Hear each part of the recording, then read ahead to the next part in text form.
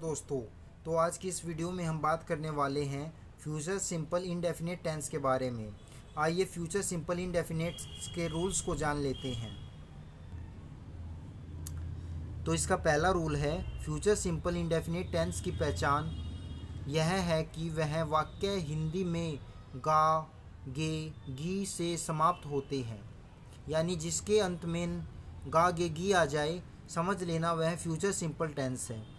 Second rule है, अनुवाद के लिए फ़र्स्ट फॉर्म अनुवाद के लिए फ़र्स्ट पर्सन अर्थात आई एंड वी सब्जेक्ट के साथ शेल तथा शेष सभी पर्सन्स के सब्जेक्ट के साथ विल का प्रयोग किया जाता है। आइए एक बार दोबारा समझते हैं।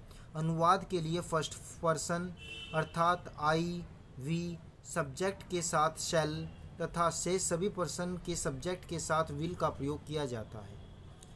थर्ड रूल है शैल तथा विल के पश्चात शैल तथा विल के पश्चात फ़र्स्ट फॉर्म ऑफ़ वर्ब का प्रयोग होता है। फोर्थ एग्ज़ाम्पल फोर्थ रूल है विल तथा शैल के मॉडल एक्जिलरी विल तथा शैल के मॉडल एक्जिलरी के रूप में अधिक प्रयोगों के लिए पुस्तक में अन्यतर देखें। एक बार दोबारा पढ़ते हैं। विल तथा सेल के मॉडल एक्सिलरी के रूप में अधिक प्रयोगों के लिए पुस्तक के अनंतर देखें, यानी और शब्दों को देखें। आइए अब हम इनके एग्जाम्पल्स को जानते हैं। तो इसका पहला एग्ज़ाम्पल है, मैं आज यहीं ठहरूँगा। तो इसे हम इंग्लिश में बोलेंगे I shall stay here today I shall stay here today यानी मैं आज यहीं ठहरूँगा। सेकंड एग्ज़ाम्पल है, हम गाना गाएँगे।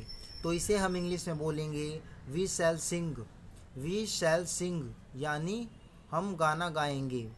थर्ड एग्ज़ाम्पल है, आप मुझसे मिलने जल्दी आओगे।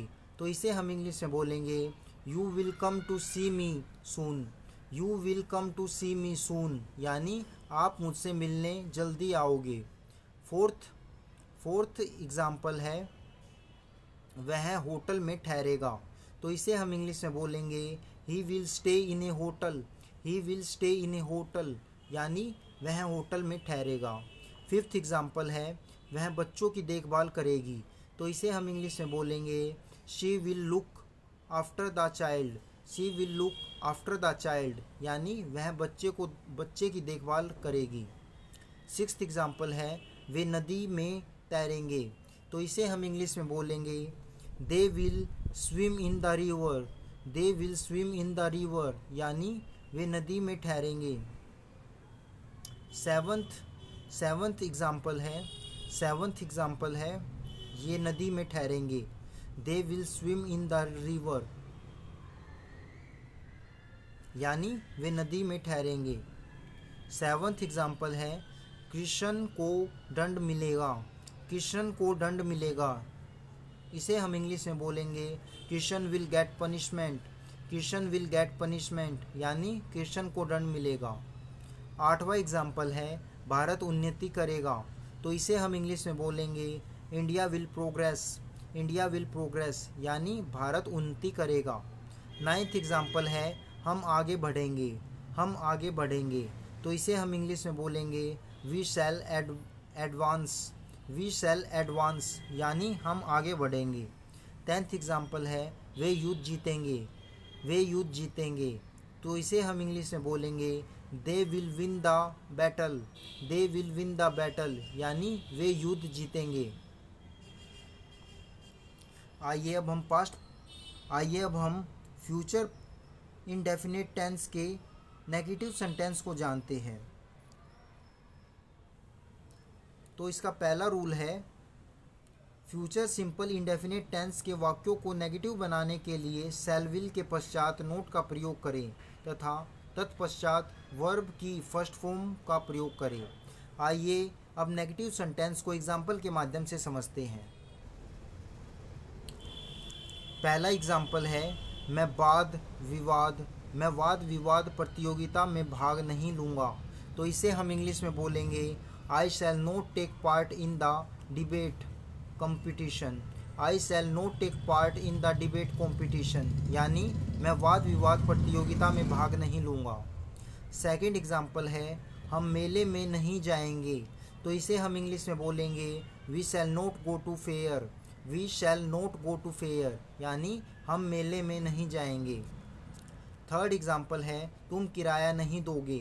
तो इसे हम इंग्लिश में बोलेंगे you will not pay the fare you will not pay the fare यानी तुम किराया नहीं दोगे। फोर्थ एग्ज़ाम्पल है, वह एक नया सूट नहीं खरीदेगा। वह एक नया सूट नहीं खरीदेगा। तो इसे हम इंग्लिश में बोलेंगे he will not purchase a new suit of clothes he will not purchase a new suit of clothes यानी वह एक नया सूट नहीं खरीदेगा। फिफ्थ एग्ज़ाम्पल है। वह सीढ़ियाँ चढ़कर उतर वह सीढ़ियाँ चढ़कर ऊपर नहीं जाएगी। वह सीढ़ियाँ चढ़कर ऊपर नहीं जाएगी। तो इसे हम इंग्लिश में बोलेंगे she will not go upstairs she will not go upstairs यानी वह सीढ़ियाँ चढ़कर ऊपर नहीं जाएगी। सिक्स रूल सिक्स एग्ज़ाम्पल है, भारतीय लोग भ्रष्टाचार सहन नहीं करेंगे। तो इसे हम इंग्लिश में बोलेंगे Indians will not bear Indians will not bear with corruption Indians will not bear with corruption यानी भारतीय लोग भ्रष्टाचार सहन नहीं करेंगे। सेवन्थ एग्ज़ाम्पल है, चंद्रमा पर हमें ऑक्सीजन नहीं मिलेगी। चंद्रमा पर हमें ऑक्सीजन नहीं मिलेगी। तो इसे हम इंग्लिश में बोलेंगे we shall not get oxygen on the moon we shall not get oxygen on the moon यानी चंद्रमा पर हमें ऑक्सीजन नहीं मिलेगी। आठवां एग्ज़ाम्पल है, भारत युद्ध के लिए परमाणु बम नहीं बनाएगा।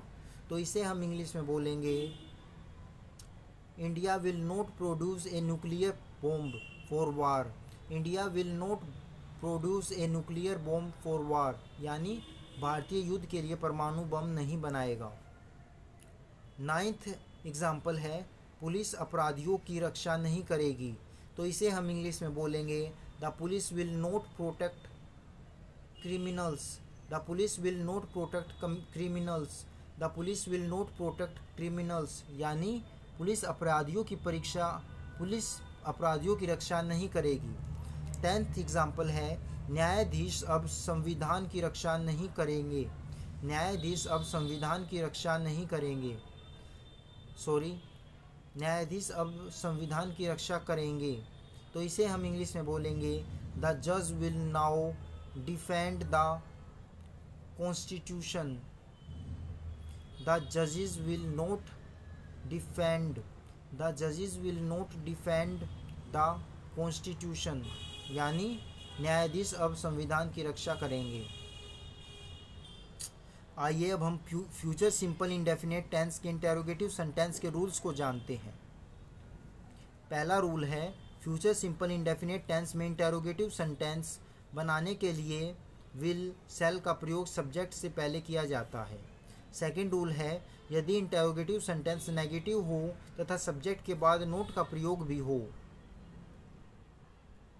दोबारा पढ़ते हैं, यदि इंटेरोगेटिव सेंटेंस नेगेटिव हो तो सब्जेक्ट के बाद नोट का प्रयोग भी करें।